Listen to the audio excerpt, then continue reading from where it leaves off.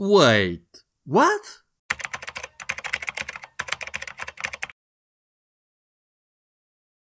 Oh, okay. Don't shoot! I'm out of ammo! Frog blast the vent core! Frog blast the vent core! Frog Blast Event Core!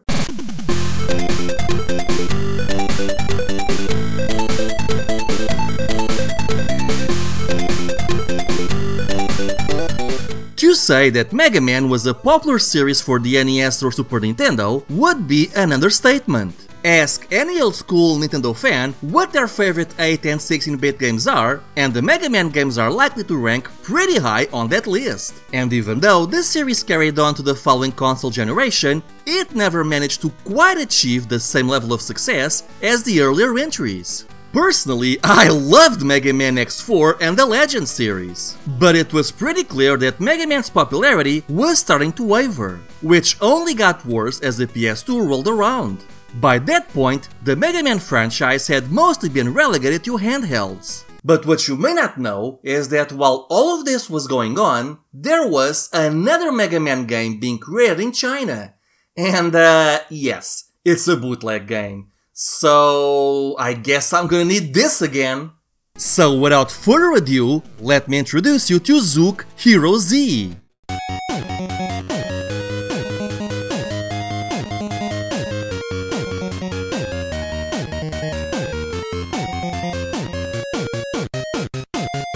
Yes, this is a completely original Mega Man game, developed without Capcom's or Nintendo's consent. And although it was created in China, we do know that the game received a worldwide release, as you could find English and even Japanese versions of the game. Though as far as I know, the only English dump of the game has a game-breaking issue, which will always cause it to crash. So sadly, I had to stick with the Japanese dump of this one. Which is a shame, because this game has a surprisingly high amount of cutscenes. The packaging is also interesting in how normal it looks. Usually you can spot a bootleg miles away due to their oddly shaped boxes, art, or cartridge design. But this one? No, it all looks pretty normal. I mean, sure, it's obviously using official Mega Man art, except they replaced the series' name with Zook. But besides that, it looks normal enough to fool most kids into thinking that this was an official release. But honestly, even if you did buy this game thinking that it was an official release, I don't think you'd be disappointed, because this game is legitimately good. Anyway, booting up the game, you're shown an intro telling you the game's plot. You play as Luke, a highly decorated detective who was shot and gravely wounded when trying to stop Dr. Mean and his robot army from taking over the world. Luckily, the government has a secret cyborg project run by Dr. Stevens, so they were able to save Luke and turn him into a cyborg, becoming Zook Hero Z. Actually, funny thing, even though this series is known as Zook in the West, in its original language the series is named after the main character Luke. So it's possible that the Zook name was either a new addition or a mistranslation. Anyway, the first thing I gotta say about Zook is that this game looks the part. I mean, just look at it! If you saw someone playing this on a Game Boy Color, you'd think this was an official Mega Man title. Now, you're most likely thinking that they stole all of the art assets from other Mega Man games, namely Mega Man Xtreme. But again, no! A large portion of the assets here are completely new. I mean, yes, you do see some sprites or backgrounds that were taken from the original Game Boy or Game Boy Color games. But for the most part, all of the assets here are new. If you compare Zook's design with that of the Game Boy Mega Man games or the Xtreme series, you can definitely notice the similarities, but it also becomes apparent that these are not sprite edits. And in fact, most of the game was made from scratch, as the game engine was also internally developed by the bootleggers. They could have just stolen any of Capcom's Mega Man engines for the Game Boy, but instead they chose to create their own. The only exception here was the sound engine, which uses the Game Boy Mega Man 5 sound engine and sound effects. But the music itself, as far as I know, is completely original.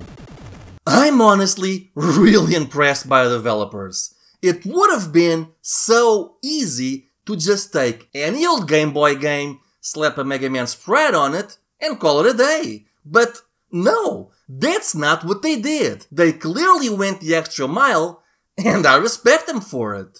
In fact, the more you play this game, the more you realize that Vast Fame, the team behind this game, were Mega Man fans. Not only were they able to properly recreate the aesthetics of the 8-bit games, but as you play it, you'll soon find out that a lot of the Mega Man traditions made it into this game. For example, Zook seems to merge the gameplay elements and aesthetics of the original Mega Man series and the X series. So Zook can slide like in the original games, but he also has a dash boost and wall jump like the X games. Although the wall jump is a bit finicky and definitely not as responsive as the official Mega Man X titles. You have 6 Robot Masters to fight and defeating them will allow you to use their weapon. Some of which are inspired by the Mega Man games, while others seem to be original weapons. Hidden throughout the levels, you'll also find armor upgrades, similar to Dr. Light's upgrades in Mega Man X. You must recover all the energy immediately, Mega Man. What? That's a good question. And yes, all of these weapons and upgrades are persistent and can be accessed through the menu. And guess what? If you get the Zook Buster upgrade, you can also charge the weapons that you unlocked from the Robot Masters for a more powerful blast. Again, just like Mega Man X. And once you beat all Robot Masters, you'll then invade Dr. Mean's fortress, which has several levels and culminates in a boss rush room. And after you beat the fortress, a second fortress appears with more levels, which then ends in a two-part boss battle against Dr. Mean. And the music is legitimately good and sounds like something that could have come out from an official Mega Man game. Here, just take a listen.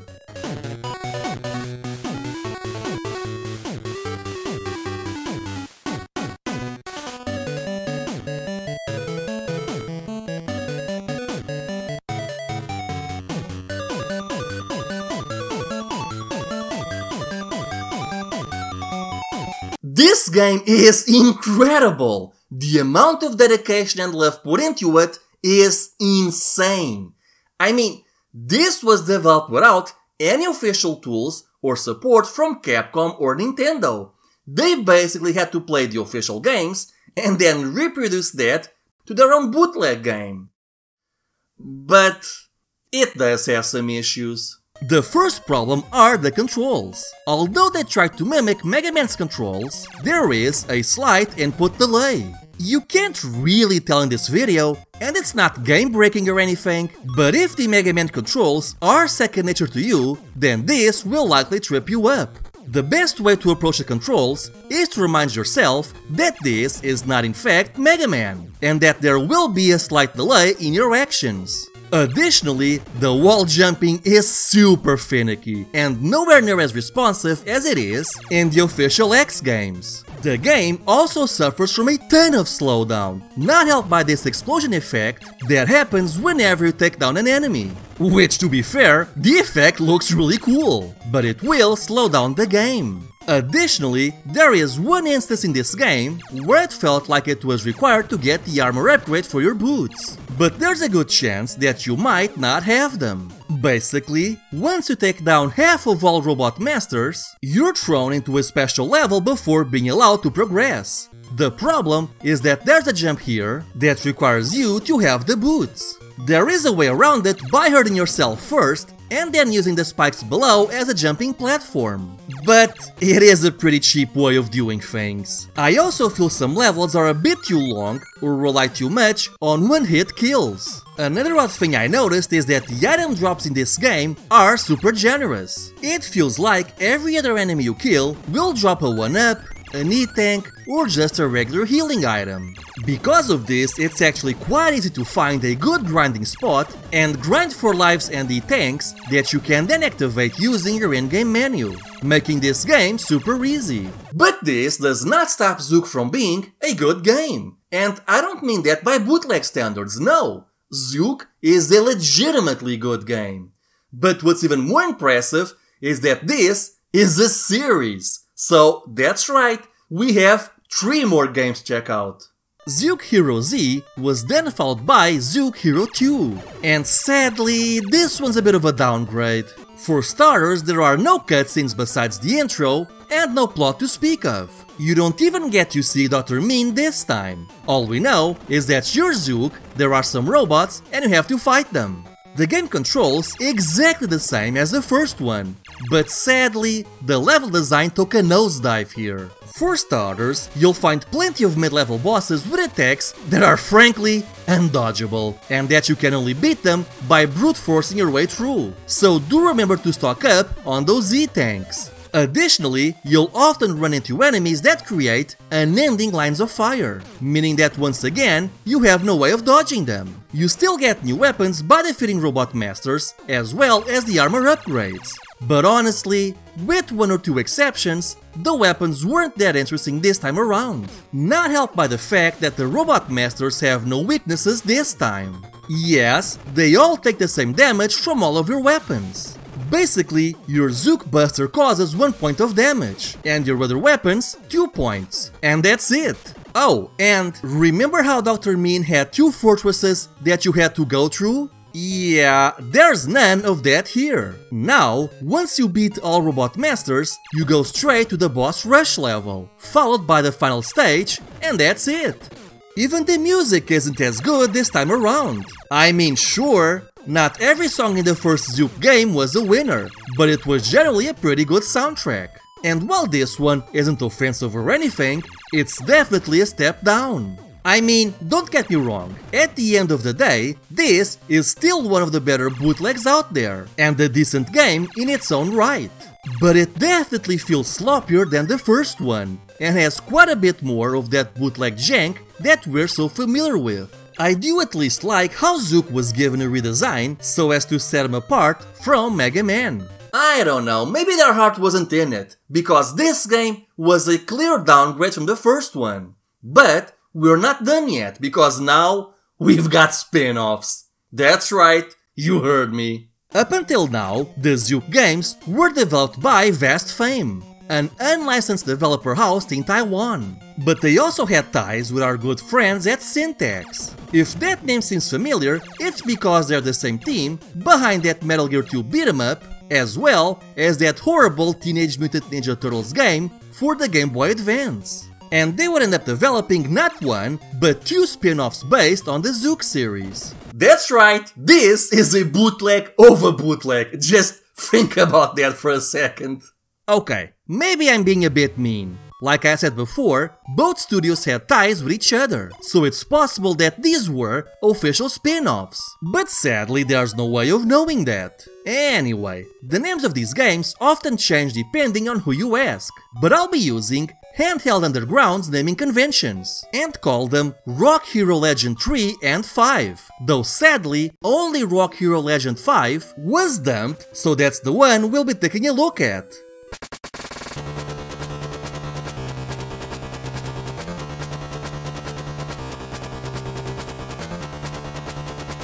Well, this is certainly different. Yes, that's right. This is not a Mega Man game, but instead a Castlevania game. Some of you might be familiar with another Sintax bootleg called Castlevania DX, whose demo has been floating around the internet for years now, but the full game itself was never dumped. Well, Castlevania DX was actually a revised edition of Sintax's Castlevania game titled, uh, this. And that original version actually has been dumped. And that game was re-released yet again as a Zook game, except this time you play as Zero. Yeah, I know, it's a bit confusing, but for better or worse, the bootleg market is filled with relaunches and re-editions where they only change a couple of minor things like the name, the title screen, or if you're really lucky, a couple of enemy sprites. So let's get the bad stuff out of the way first. This game is super janky. Out of all three Zook games that we've taken a look at so far, this is by far the jankiest. The scrolling and movement is pretty choppy, and I would often pass through walls only to then get stuck in them. Also, seeing as how the game changes your player character sprite with a new one that looks like Zero, the hit detection while airborne is super weird, as you need to connect the hit with your enemies way lower than where your sword actually is. Also, the plot is nearly non-existent. You get a short intro saying that there's a virus threatening humanity and that you're off to save it. That's it. So from what I described, at first glance this looks like a terrible game, doesn't it? Well, it's really not, because this game is surprisingly ambitious for the system. This is a full-blown Metroidvania. Do you like the Game Boy Advance Metroidvanias? Then you might like this game, because that's exactly what Sintax was aiming for. Every time you dispatch an enemy, you gain experience. Build enough experience and you level up, which will then increase your attack and defense. Enemies will also occasionally drop items. These can be single-use items like healing, mana potions, or I guess SP potions in this case, or even antidotes. You can also collect money from killing enemies or destroying torches, which can then be used to buy items from the shopkeepers. Oh, but we're still not done! Enemies will also drop gear that you can equip to increase your attack or defense. And as you explore the game, you'll come across permanent upgrades that will let you explore new areas. So for example, you can unlock the double jump pretty early into the game, which lets you reach higher areas, as well as the slide move,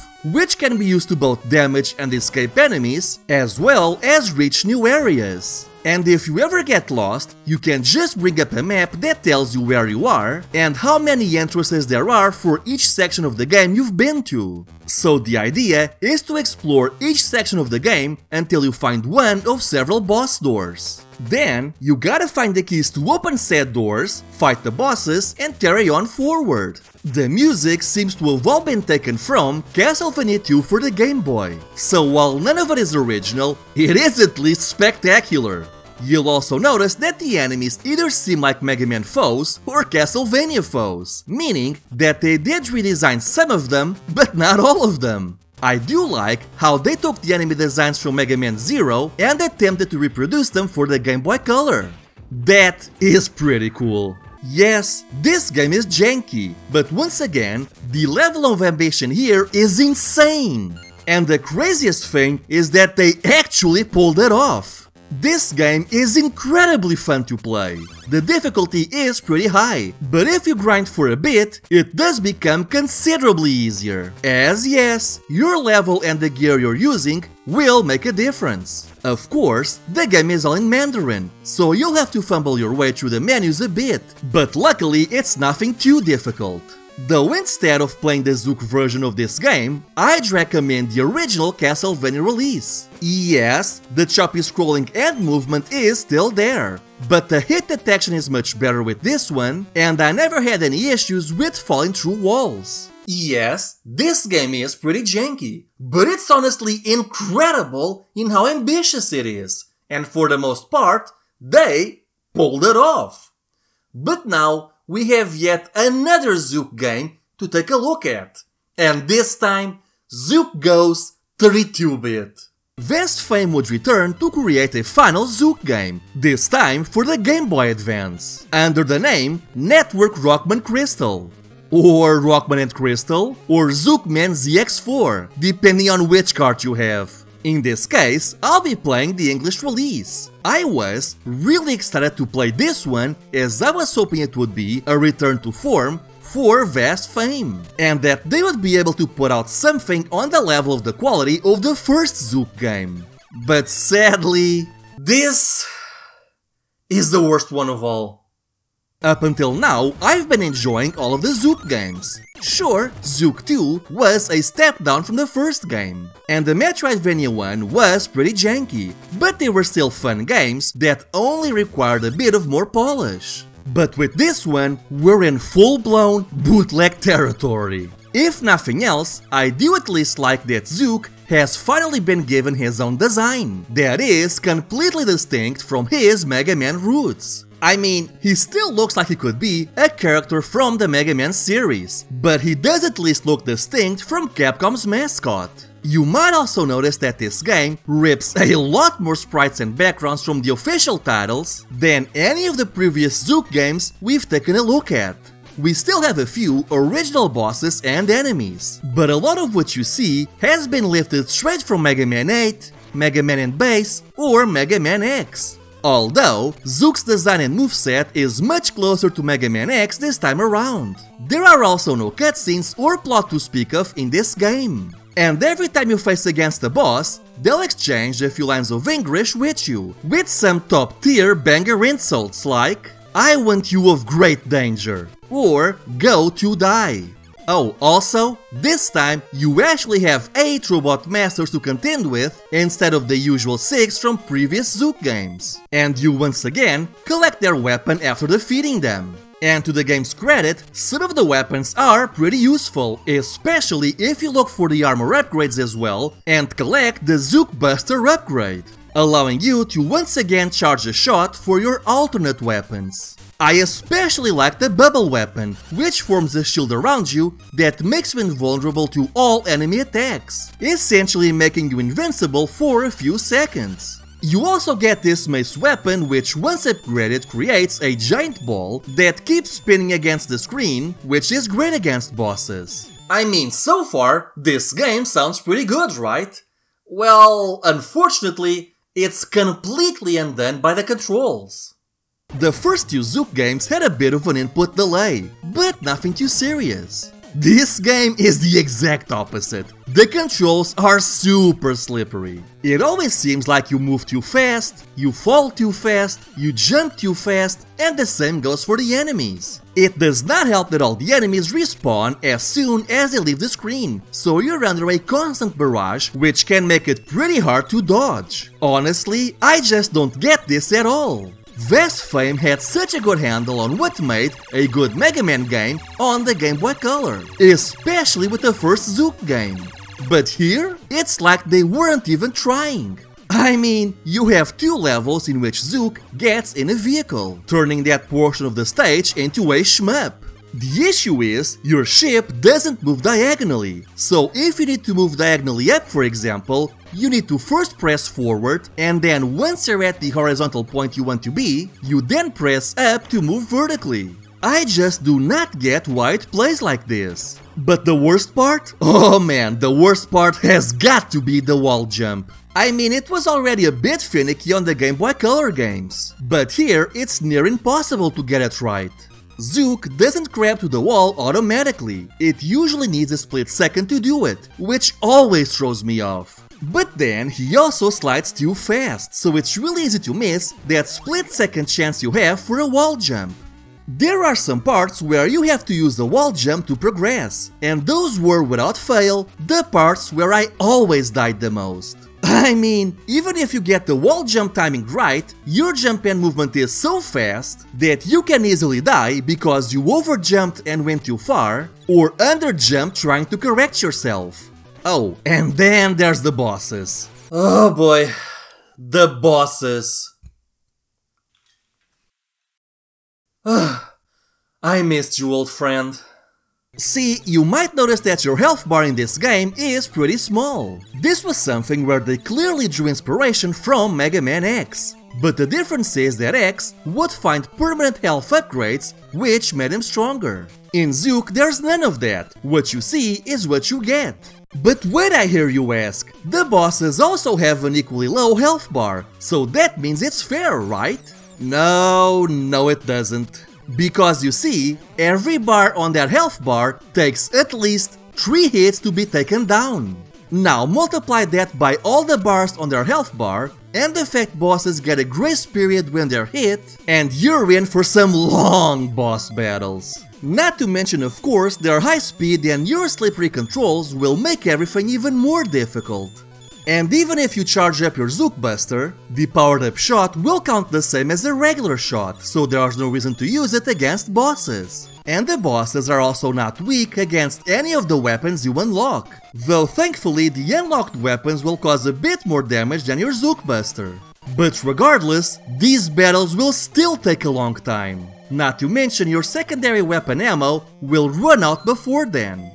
The best way I found to beat the bosses is to grind for E-tanks and weapon tanks, and then spending the entire battle wall jumping on the corner and only coming down when you know it's safe to throw a cheap hit. Once you do get the Zook Buster upgrade, you can use a few weapons that don't require you to go down to hit the bosses, but that's pretty much it. But despite that, I was able to persevere and defeated all 8 Robot Masters. And I was hoping we'd at least see a return of Dr. Mean and his fortress. But sadly, no. Once you beat the Robot Masters, you unlock a new level, which is essentially just a glorified boss rush. And once you beat that, the game is over. Yeah, that's right, there's no ending or even final boss. The game is simply over. Man, what a sad way to go. The Zook series began so strong, but it feels that with each progressive release, they just kept getting worse. But hey, 3 out of 4 ain't bad, and the first Zook game is still incredible.